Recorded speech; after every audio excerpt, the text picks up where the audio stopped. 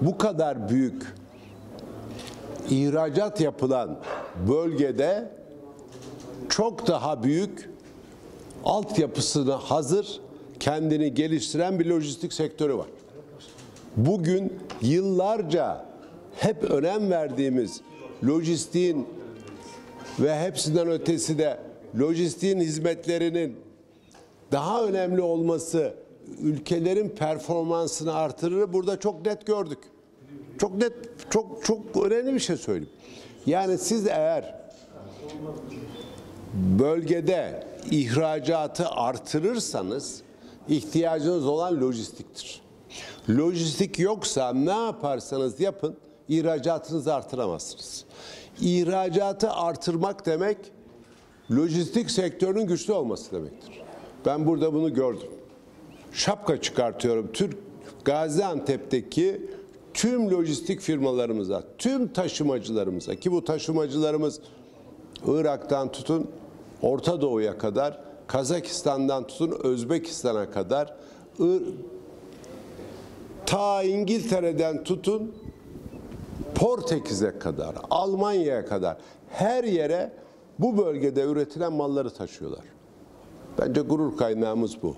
Ve de ve de en önemlisi Gaziantep'li nakliyeciler taşıyor bunu. Macaristan'ı onlarla çözdük. Macaristan'da artık buradan önce taşıma yapamazken 36 bin sefer gidebilirken bugün libere oldu. 110 bin sefer benim ülkemden geçebilirsin dendi.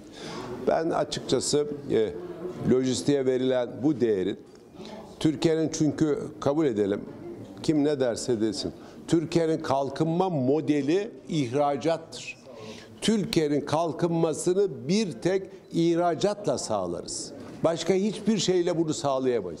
İhracatı da itici gücü, ihracatı da destekleyen lojistiktir. Gaziantep'teki bu lojistik altyapısı, Gaziantep'in bu lojistik konusunda yaptıkları yatırımlar böyle yani ben her bölgeyi biliyorum. İstanbul'u biliyorum, İzmir'i biliyorum, Ankara'yı biliyorum, Bursa'yı biliyorum. Her bölgeyi biliyorum. Gaziantep gerçekten bu konuda çok farklı. Gaziantep bu konuda hizmetin kalitesi, müşteri ilişkileri, müşteriyle beraber yaşanan sorunların ortak çözülmesi konusunda çok farklı bir yaklaşımları var. Ee, ve de biz biz biz hazırız. Yeter ki Türkiye'nin ihracatı artarken dönüp de işte lojistikte problemimiz vardı artıramadık kimse diyemez.